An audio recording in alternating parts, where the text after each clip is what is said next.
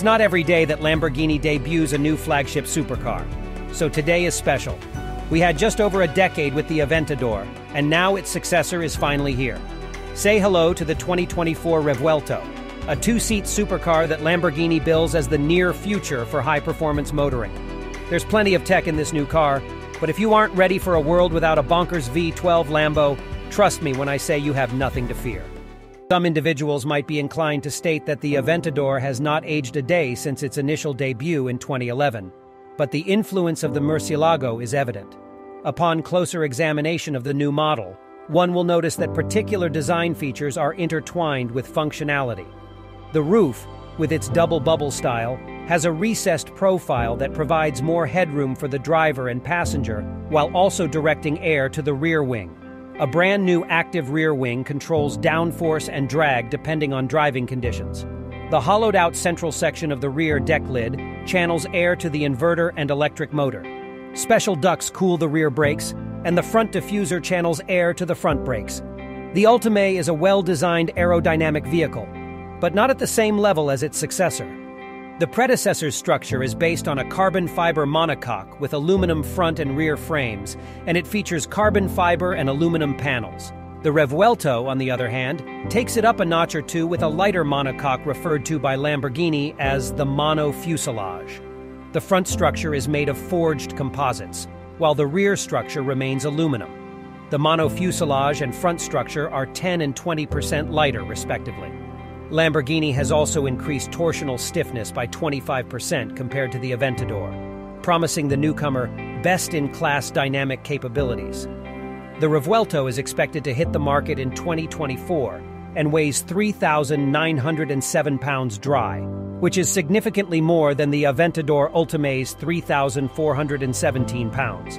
The weight distribution for is 44.56%, while the Aventador Ultimae's weight is distributed 43.57%.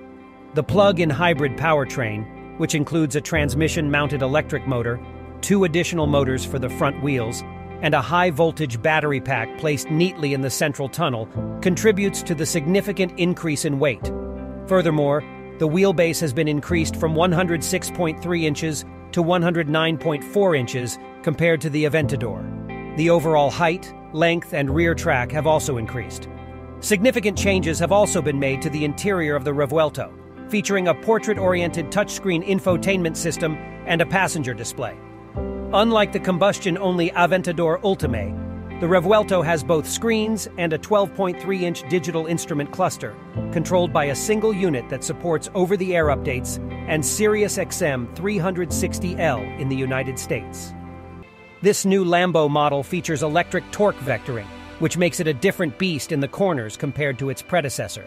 It has a sonorous V12 engine with the L545 moniker, despite having the same 6.5 liter displacement as Lamborghini's second series production V12. Developed by Giotto Bizzarrini, the L545 engine puts out 814 horsepower at 9,200 revolutions per minute and 535 pound-feet at 6,750 revolutions per minute, compared to the Aventador's L539, which produces 769 horsepower and 531 pound-feet. The world of supercars and hypercars is constantly evolving, and Lamborghini has just made a major breakthrough. They have achieved Bugatti Veyron level power without relying on a 16 cylinder engine. The new Revuelto blurs the line between the two car types, and its impressive performance is sure to turn heads, even though the Bugatti Veyron still holds the top speed crown. It can reach 62 miles per hour in just 2.5 seconds, thanks to its newly developed engine that revs up to an ear splitting 9,500 revolutions per minute. Lamborghini estimates the top speed to be over 217 miles per hour, which is very impressive by today's standards. By comparison, the more traditional Aventador Ultimae offers a top speed of 221 miles per hour and can reach 60 miles per hour in 2.8 seconds. Despite the Ultimae's impressive stats, the question remains, would you choose the new Revuelto over the Aventador Ultimae, which is powered only by an internal combustion engine?